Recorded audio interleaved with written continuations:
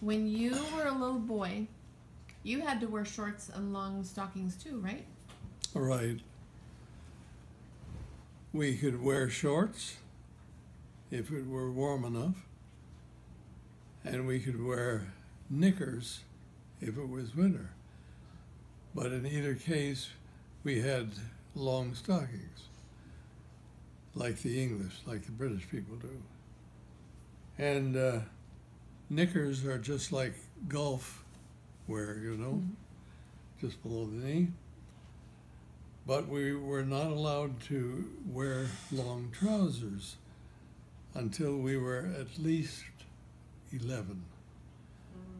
Mm. And when I was about nine, living on Main Street in Massachusetts, somebody gave me a pair of long pants.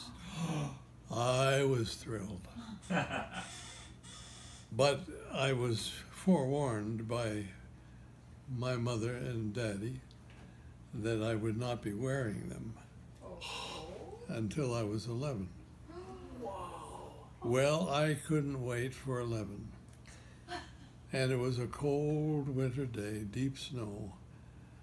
And I somehow got into the basement and I changed clothes and I put on those long pants.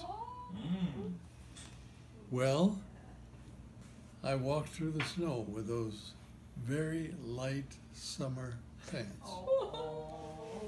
And I got them all wet. And uh, all day long I was just freezing cold. And finally I got home and I was taken down with pneumonia. A real case of pneumonia. I can remember now Aunt Margaret was taking care of me. She was living with us. And uh,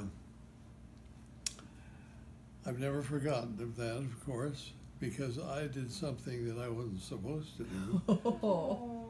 Now, God forgives sins, but He doesn't eliminate the consequences, usually. Very rarely does He remove the consequences. So I had to go through a learning process. But I learned a lesson. if I'm going through the snow, I better be walking on my hands.